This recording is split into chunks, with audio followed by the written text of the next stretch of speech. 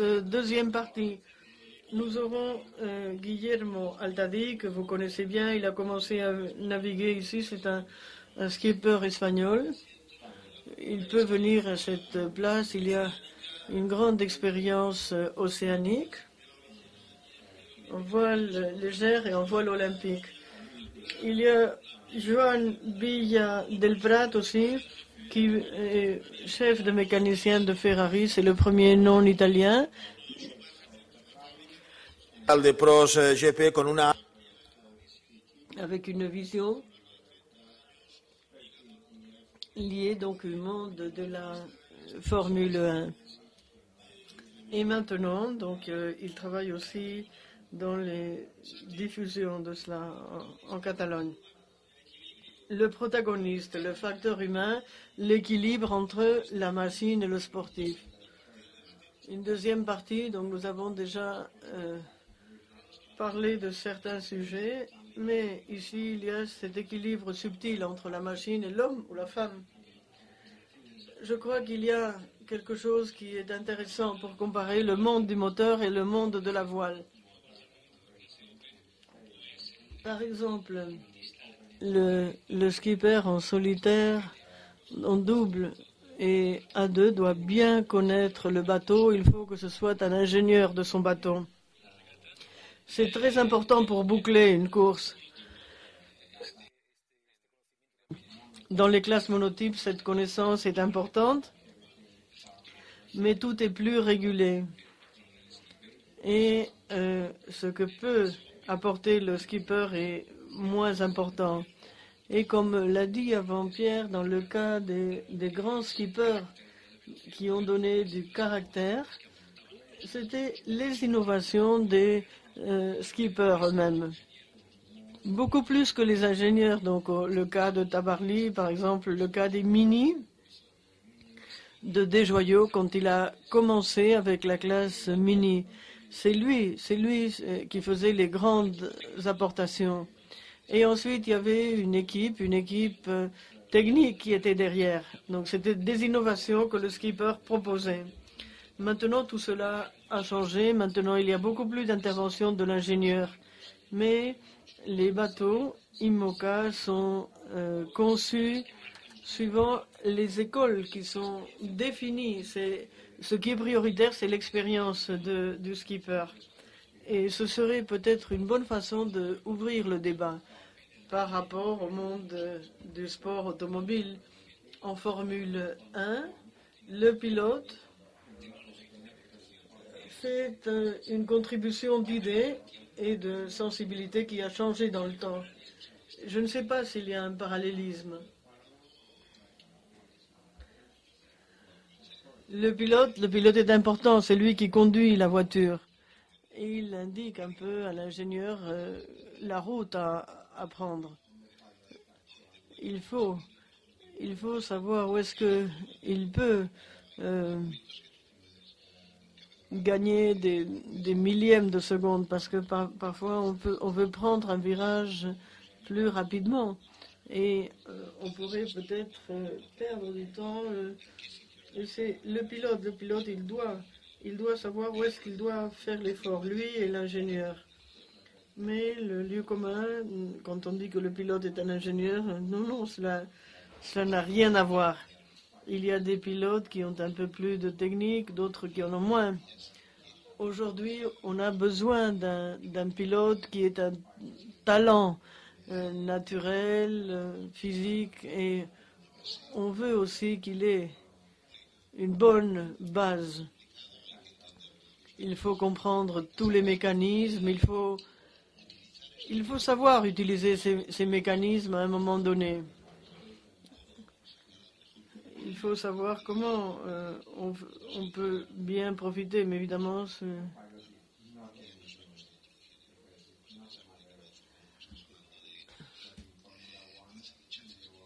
Donc on parle de, 500, 500, 600 personnes. On est arrivé même à, à 1200 personnes derrière. Sont tous mis d'accord et ils ont un peu réduit le nombre de personnes qui travaillaient autour de cela. Et maintenant, il y en a 500, 600 et 300 pour faire le moteur. Donc il y a beaucoup, beaucoup de personnes. Et sur ces 500 personnes, 250, 300 sont des, des ingénieurs, des, des techniciens de structure aérodynamique, etc. Donc ce n'est pas seulement que ce soit le pilote qui soit l'ingénieur. C'est lui qui doit indiquer, plus ou moins, je ne sais pas. Guillermo, dans un, dans un tour du monde, qu'est-ce que tu en penses? En ce qui concerne la voile, il y a la, partie scientifique euh, qui est la responsabilité des, ingénieurs et ensuite il y a une partie de l'intuition, l'intuition qui est sur l'homme qui est sur le bateau. Et parfois on ne sait pas pourquoi, donc il n'y a pas de, on ne peut pas maîtriser le bateau. Et on peut informer de tout cela aux, concepteurs. Mais on ne peut pas commencer à, parler de, questions techniques parce qu'on a navigué, lui, il était en train d'étudier. Et c'est lui qui s'y connaît. Il faut toujours se mettre euh, d'accord. Donc il y a une intuition avec la partie scientifique et il faut trouver des solutions des deux côtés. Mais je suis d'accord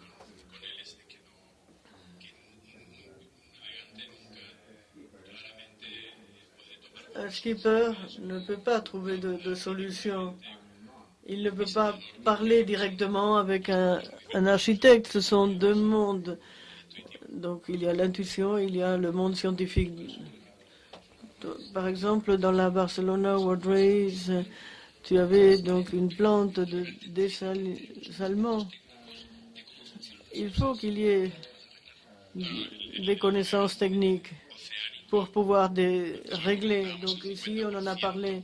50% du succès d'une course comme la Barcelona World Race ou le Vendée Globe, c'est qu'il y ait quelqu'un qui puisse régler une partie, une partie économique, le délaminage d'une voile. Donc il faut que ce soit quelqu'un qui s'y connaisse en voile, en électronique. 50% du succès de boucler la course. Je suis d'accord. Joanne Oui, c'est la même chose. Oui, pour le Dakar? Oui, il y a beaucoup de choses en commun. Maintenant, donc, ces courses n'ont plus lieu en Afrique, mais il y a beaucoup de choses en commun quant à leur philosophie avec la voile économique pour les moyens économiques, évidemment, lorsque, Joanne, nous parle des moyens de la Formule 1, on est en train de parler de la NASA, de la stratosphère. Donc 50, 60 millions, et Ferrari euh, en dépense 400. C'est comme ceux qui font des compétitions de globe et d'autres qui vont sur la Lune. 40, 45 IMOCA, le, budget d'une année, d'une année de Ferrari. Je crois que ils ont coïncidé. Tous les membres font leur travail. Et c'est vrai, avec les, dimensions économiques, euh, on met des, des, éléments plus spécifiques dans chaque euh, poste du budget. Par exemple, pour euh, Volvo Ocean Race, il y a 50, 60 personnes pour une, équipe. Euh, en usine, il peut y avoir 500, 600 personnes en usine. Donc on ne peut pas comparer les dimensions parce que si les budgets de Ferrari, il y avait euh, le Volvo Ocean Race qui avait cela, ils auraient toutes euh, ces personnes parce qu'ils auraient les moyens pour les payer. Et à partir de là, il faudrait préciser. Le budget, le budget de, Formule 1, c'est ce qu'on a et un peu plus parce qu'on dépense beaucoup plus que ce qu'on a. C'est le, budget. Le budget, c'est toujours ce que l'on a. 120, 120, 200, 200. Ce qui est clair, c'est que si on a l'argent, on va le dépenser et on va en dépenser un peu plus. On peut mettre davantage de personnes.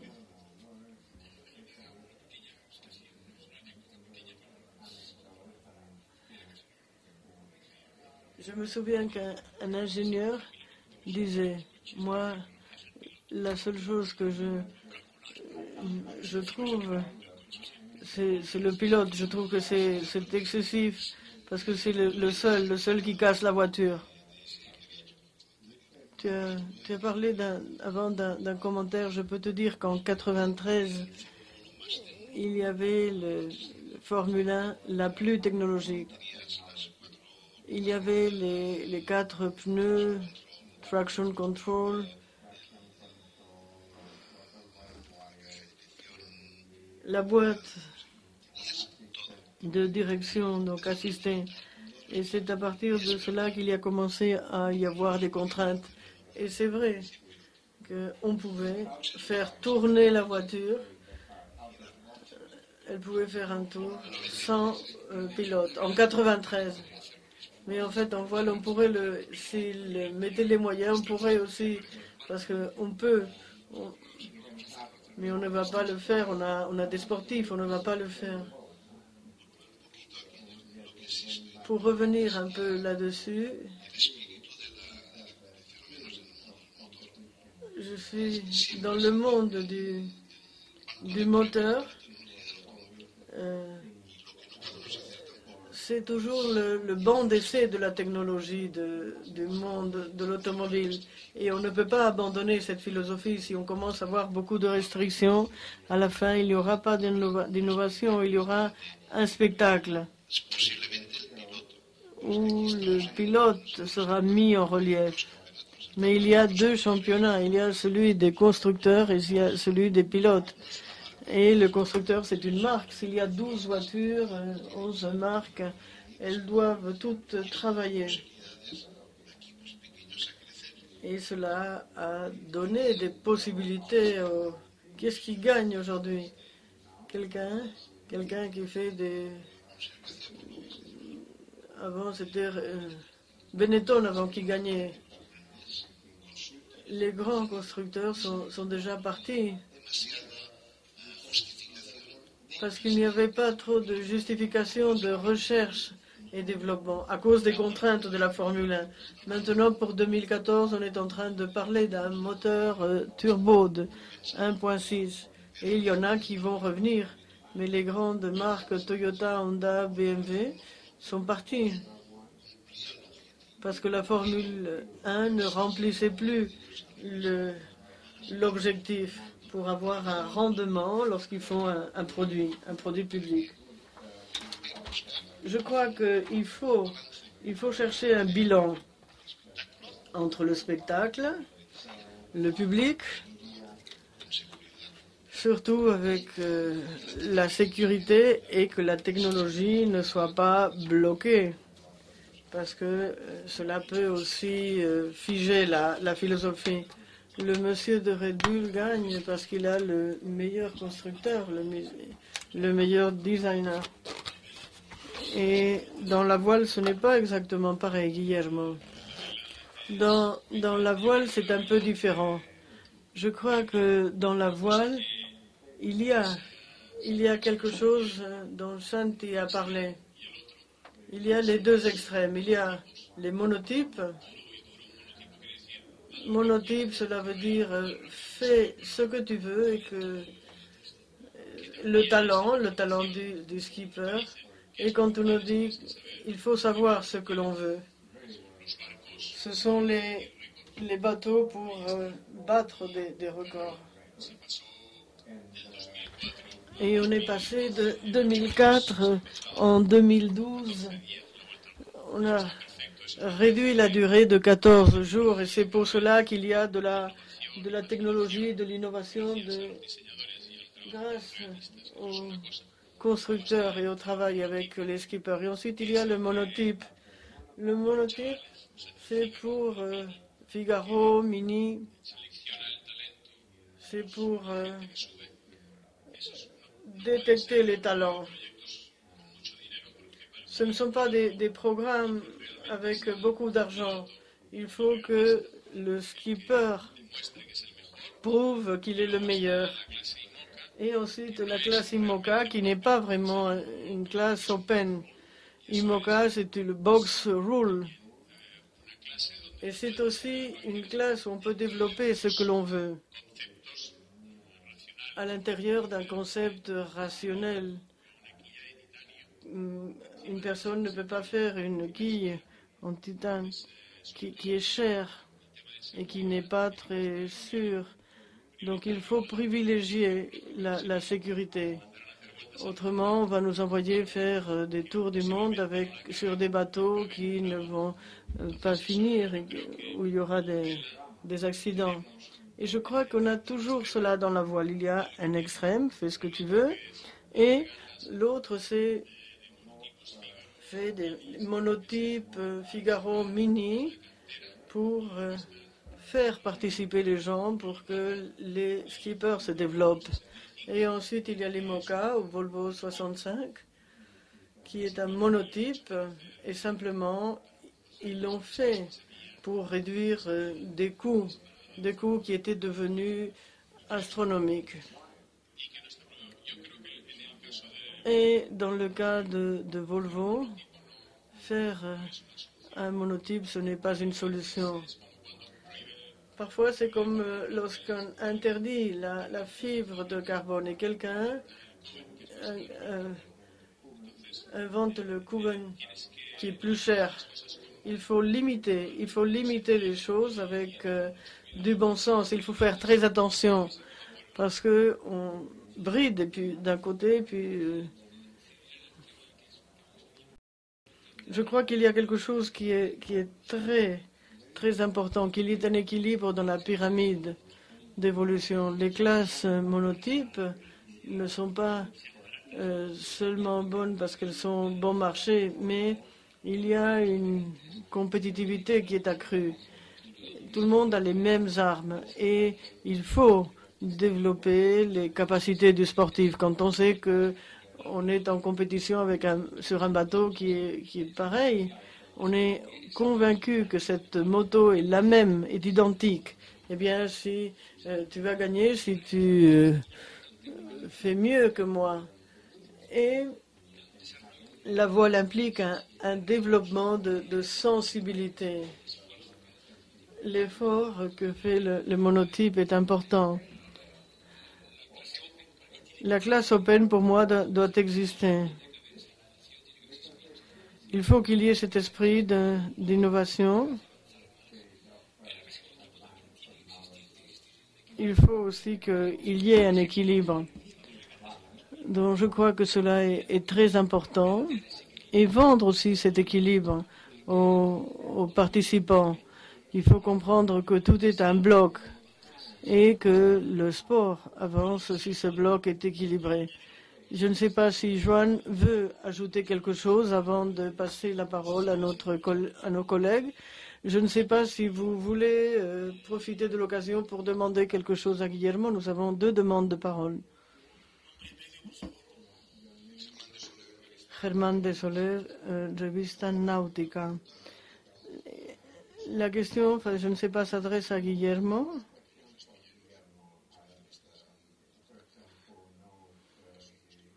Donc ce sont eux donc, qui euh,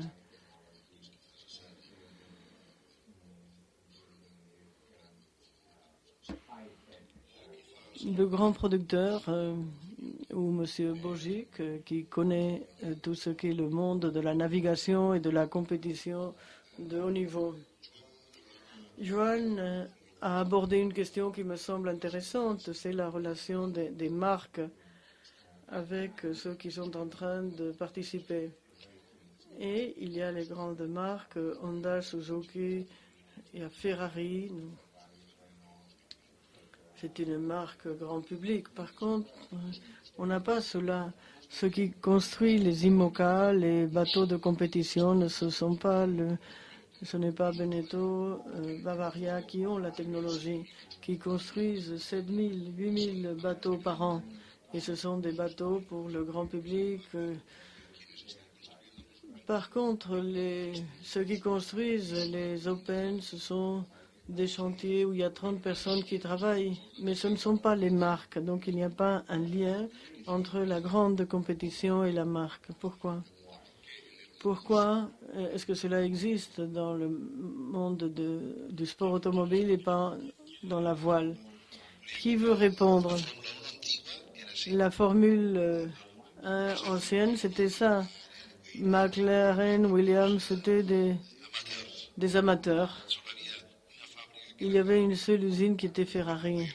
Et à partir de là, les autres grandes usines euh, ont pénétré. Et euh, même, elles ont acheté les, petites équipes qui sont devenues de grandes usines. Je ne sais pas si cela est en train de se passer dans le monde du bateau, mais les grandes marques les grands constructeurs de bateaux devraient vouloir avoir un bateau qui gagnerait cette euh, compétition. Ce serait logique. Je ne sais pas pourquoi cela n'arrive pas. Un, ou deux éléments que, j'ai. Euh, c'est tout à fait juste euh, ce que vous dites.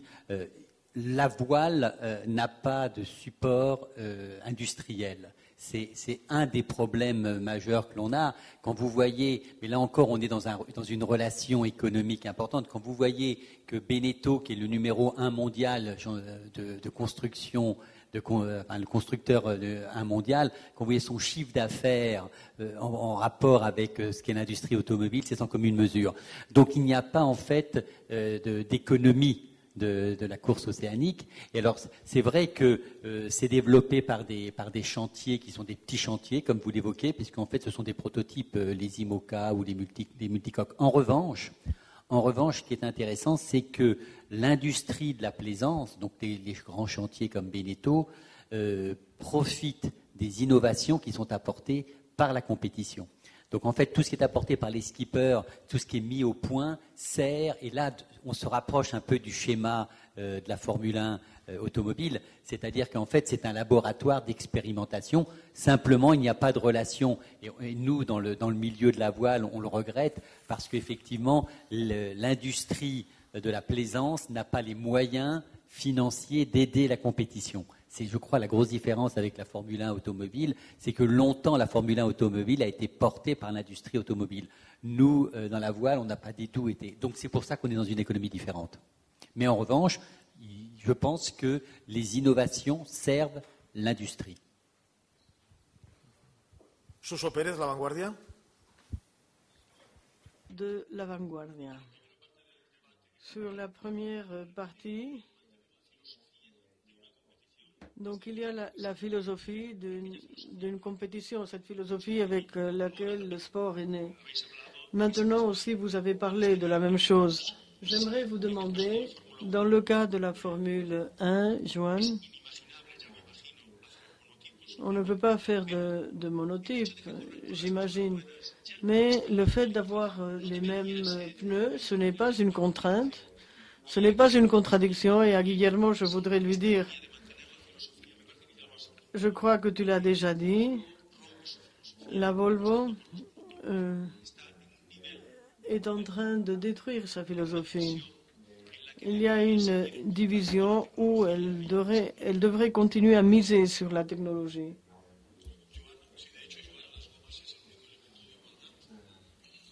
Non, c'est le seul élément d'égalité. Non, non, il y a beaucoup de choses qui sont les mêmes la caisse, la boîte électronique qui contrôle tout le système électrique, c'est mm, les pneus aussi, oui, c'est vrai.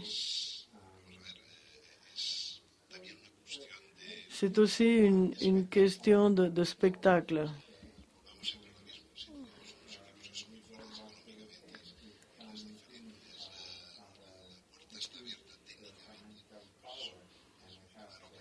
C'est vrai, donc euh, ces équipes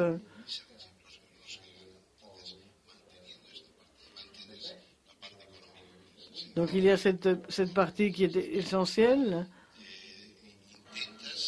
On essaie. C'est pour cela qu'il faut que ce soit un bilan. Et après, si la technologie était ouverte, c'était un moteur d'un litre et demi qu'on pouvait avoir sur la, sur la table de, chevet. Après, le downforce, c'est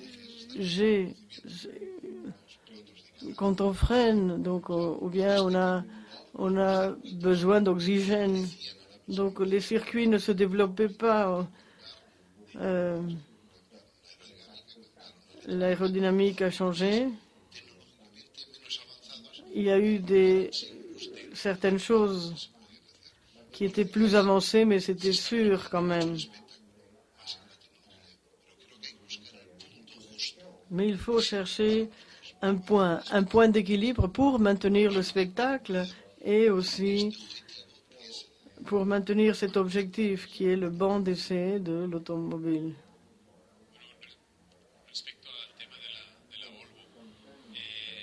En ce qui concerne la Volvo cherchait un format toujours. Ensuite, ils ont, ils ont combiné les Maxi Volvo 70. Ils ont toujours euh, fait cela donc pour euh, avoir la participation. Euh, on peut avoir un monotype. Beaucoup de choses qui, qui arrivent au bateau monotype, c'est qu'il y a là une petite différence qui est très petite. Quelque chose de minimum qui requiert beaucoup d'heures de recherche pour gagner une millième de seconde de rien du tout. Ce sont des monotypes. Maintenant, même les couvertures, les revêtements sont les mêmes. Il y a une équipe qui, qui cherche où on peut euh, trouver un atout pour pouvoir gagner. Pour moi, je ne crois pas que ce soit une, formule. L'erreur, c'est de euh, open toujours avec euh, une box roule où on n'arrive pas à des, budgets illimités, où on puisse euh, investir en, R plus D pour euh, gagner très peu. Volvo Shenbridge aura peu de participation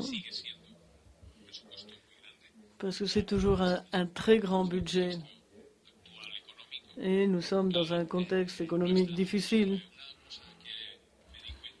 je me suis rendu compte d'une chose parce que tout le monde euh, s'est dit oui, monotype, open. Et dans le dernier transat, j'ai dit ce bateau, donc il regardait tous les bateaux, il me demandait qui, navigue. il savait si cette personne était grande, petite, s'il était jeune s'il aimait se, mouiller. Donc ceux qui n'aiment pas se, mouiller, Jean-Pierre une sorte de, bulle parce qu'il est très très grand. Donc tous les bateaux étaient différents. Euh, 12 bateaux identiques, c'est assez ennuyeux. Ce qui changerait, ce serait simplement la couleur du sponsor. Il faut essayer une classe open, mais faire un, monotype en réduisant les, les budgets. Ce seront des budgets de 16 millions d'euros. Est-ce que c'est très différent à bord de Volvo Multicoque Quelles sont les, différences de ces trois versions? Pour les, Open, le multicoque, il y a des, des vitesses beaucoup plus grandes. Il faut rationaliser, il faut être très conservateur. Avec euh, Volvo, c'est différent. C'est l'épreuve la plus, dure avec 12 euh, personnes et avoir un rythme de 110% c'est très très différent. Et ensuite, il y a l'IMOCA. C'est ce que j'ai fait. Je n'ai pas encore fait de solitaire. Et là, on change tout à fait d'état d'esprit. Il faut être euh, autosuffisant. Il n'y en a pas un qui fait le générateur, les voiles, mais c'est toi ou l'autre. Donc ici, on change d'état d'esprit. nous, sommes, nous arrivons à la fin. Santé, Joanne a eu un bateau. C'est un, il est passionné de, de l'océan. Et il repart ici avec de très bonnes sensations. Je ne sais pas, Maria, s'il y a des questions. J'ai une question à Guillermo. Sur euh, les monotypes et les Open, si on remporte le Volvo ou le Vendée avec, sur un monotype euh, strict, on prouve qu'on a gagné parce qu'on le mérite et pas parce qu'on avait le bateau. C'est parce qu'on a davantage de talent. Oui, quand on navigue sur un monotype, on est, on est sûr qu'on euh, a mieux fait. Mais je considère qu'il y a beaucoup de courses, des classes open. L'autre jour, j'en parlais. Simplement, la course commence avant parce qu'il faut choisir le bateau, il faut choisir le constructeur, il faut euh, dire au concepteur comment on veut le bateau. Et tout cela fait partie de la technologie, de l'imagination. Et parfois, il ne faut pas seulement faire euh, des régates. Il faut, plus, il faut réfléchir, il faut penser quel est Pourquoi est-ce que je ne peux pas euh, aller plus vite si je fais un fiole? Et cela fait partie du spectacle, cela fait partie de l'intérêt du public. Et cela fait que la technologie, il y ait donc des bateaux de carbone ou des voiles de, membrane. On n'est plus de, fibres. Quand on fait des régates de monotype, on est fier parce que c'est on sait que euh, cela a dépendu de nous. Mais il y a une partie de l'imagination, de la technologie qui est très importante et que cela, cela fait partie du, jeu, même du, jeu médiatique. Je ne sais pas si sur les réseaux il y a des questions aux journalistes. Nous avons une ou deux questions.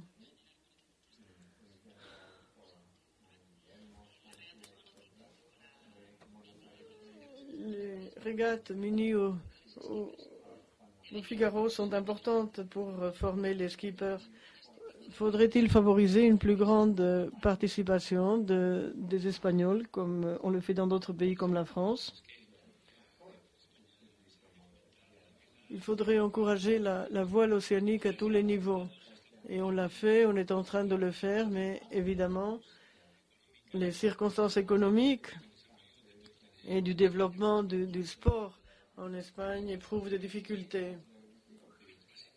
Mais en, mini, par exemple, les skippers espagnols ont eu beaucoup de succès. Et dans des classes comme la Figaro, s'il y avait davantage de, développement, je suis convaincu, ce sont deux classes qui sont nécessaires pour la pyramide dont je parlais avant, pour qu'il y ait des sponsors. Il faut qu'il y ait des skippers en mini au Figaro, évidemment, il faut encourager cette tendance. Et maintenant, à M. Villa del Prat, est-ce qu'il conduirait euh, de la même que sur un... Non, je n'irai pas tout seul, je ne ferai pas de régate euh, le tour du monde. Nous allons finir à 16 heures. Santi Serrat et Joan Porcar ont pris des notes et nous aimerions qu'ils fassent un peu un résumé final pour nous expliquer quelles sont les idées qu'ils veulent souligner sur ce colloque. Santi et Joan, je crois que ce qui est important, c'est oui à la technologie, parce que la technologie est indispensable dans le monde dans lequel nous sommes. Oui à la, technologie dans une gamme avec euh, certaines contraintes basées sur la sécurité essentiellement. La question économique, euh, on ne l'a pas trop soulevée ici, mais je crois que c'est un, élément dont il faut tenir compte de façon importante. Et la valeur du, sportif euh, sera le plus important, même si la technologie a un grand poids. Je crois que c'est un peu une partie du résumé de ce colloque. Oui, je crois que cela est important et dans le, débat, on l'a dit, la, situation actuelle des, classes océaniques. Il y a un pari sur le, le monotype dans le monde des multicoques et Volvo. Et la classe IMOCA est la seule classe MOCA qui fait ouverte. Et Kiko l'a dit que quand on va vers un concept monotype pour, pour éviter que les coûts grimpent, eh bien, on est en train de limiter. Et maintenant, euh, l'un des atouts de la classe MOCA, c'est que cela permet, permet la participation de personnes qui ont des budgets très bas. Et on sait qu'ils vont terminer la course 15 jours plus tard. Et il y a quand même euh, ce pari, ce pari euh, du navigateur pour qui c'est important de faire le tour du monde. Et je crois que la classe IMOCA doit garder cela. Toutes les contraintes qui limitent doivent essayer de qu'il y ait des Alessandros de Beneventos et qu'il y ait des, euh, des personnes euh, qui sont arrivées en dernier lieu. Ce sont des aventures, ce sont des aventures humaines qu'il faut savoir expliquer. Elles donnent beaucoup de valeur à la classe. Et maintenant, c'est la, grande classe qui est l'étendard de ce concept. Il faut qu'il continue. Merci, merci, merci Jean Porcar, Santi Serrat, merci d'être venu. Les contenus euh, seront mis sur le site web de Barcelona World Race dans trois langues. Merci.